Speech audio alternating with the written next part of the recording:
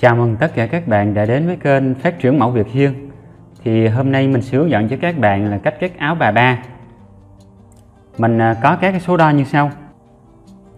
Dài áo 65 Vòng cổ 34 Vòng ngực 86 Hạ eo 36 Vòng eo 70 Vòng mông 90 Vòng nách 36 Hạ đến ngực 23 Dài tay 68 Ấp tay 28 Cửa tay 21 trong quá trình mà mình hướng dẫn mình sẽ à, đọc lại các cái số đo à, cho các bạn. Và bây giờ mình sẽ đi vào phần à, thiết kế thân sau.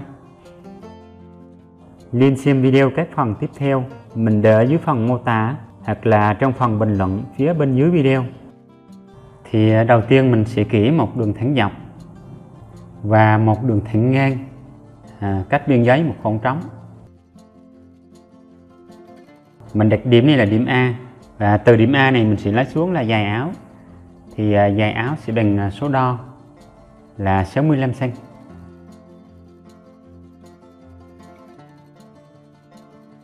à, mình đặt điểm đi là điểm B. Sau đó thì à, mình kẻ một đường vuông góc. Từ điểm A mình à, sẽ lấy xuống là hạ nách. Thì hạ nách thì bằng vòng nách chia cho 2 và cộng cho 1 cm à, vòng nách của mình là 36 chia 2 thì được 18 và mình cộng thêm một nữa thì được là 19 cm à, sau đó mình kỹ một đường vuông góc. À, mình đặt điểm này là điểm C. Từ điểm A mình sẽ lấy xuống là hạ eo. Thì à, hạ eo sẽ bằng số đo là 36 cm à, sau đó mình kỹ một đường vuông góc. Đặt điểm này là điểm D. Từ điểm D thì mình sẽ lấy xuống là 18 cm là hạ mông.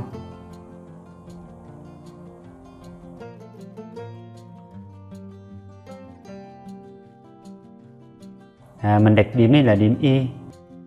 Từ điểm A mình lấy qua là ngang cổ. Ngang cổ sẽ bằng vòng cổ chia 8 và trừ cho 0,5 cm à, vòng cổ của mình là 34 chia 8 thì được là 4,25 trừ cho 0,5 thì chúng ta lại còn lại là 3,75 cm à, mình đặt điểm này là điểm A1 à, từ điểm A mình sẽ lái xuống là 0,7 cm là hạ cổ à, sau đó thì à, mình sẽ kẻ một đoạn thẳng vuông góc và mình à, vẽ lại vòng cổ như thế này. Từ điểm C mình sẽ lấy vai là ngang ngực. Thì à, ngang ngực sẽ bằng vòng ngực chia cho 4 và cộng thêm cho 0,5 cm à, vòng ngực của mình là 86 chia 4 thì được 21,5 và cộng thêm 0,5 nữa thì chúng ta được là 22 cm. Và mình sẽ lấy vào nách là 2,5 cm.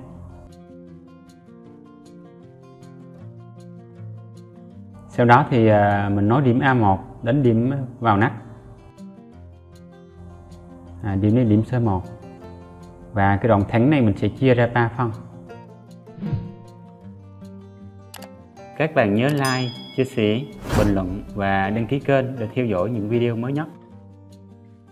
Từ vị trí này mình sẽ lấy lên là 0,5 cm và mình sẽ đánh bông lên. Sẽ vẽ vòng nách như thế này.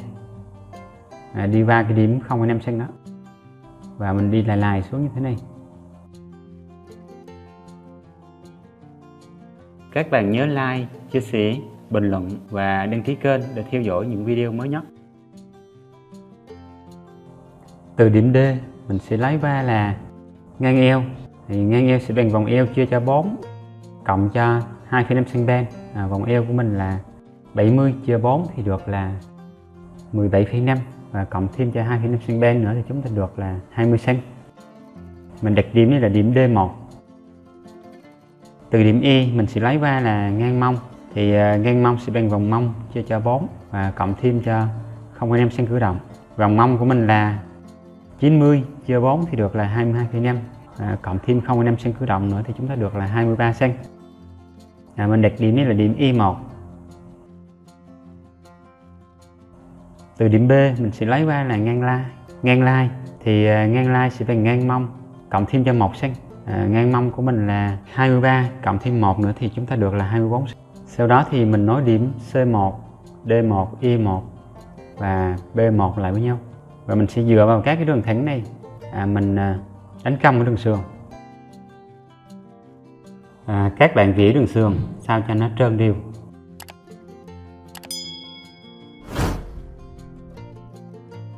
Từ điểm B1 mình sẽ lấy lên là 2 cm và cái đoạn thẳng B B1 mình sẽ chia làm hai sau đó thì mình sẽ vẽ vòng lai bắt đầu từ điểm B1 và mình đi đến cái điểm giữa rồi mình lại lại lên cái điểm giảm xương. Từ điểm C mình sẽ lấy vào theo thông số là khoảng cách hai đỉnh ngực chia cho hai. Thì khoảng cách hai đỉnh ngực của mình là 17 cm mình chia hai thì được là 8,5 và từ điểm E mình sẽ lấy vào là 9,5 cm nó sẽ lớn hơn đầu trên là 1 cm sau đó thì à, mình sẽ nối hai điểm đi lại. À, từ cái đường ngang chính giữa mình sẽ lấy xuống là 1,5 cm. Mình sẽ kỹ thêm một đoạn như thế này. Và từ điểm trên mình sẽ lấy xuống là 3 cm. Và mình lấy vào hai bên là mỗi bên là 1,25 cm. Rồi sau đó mình à, nói các điểm lại với nhau.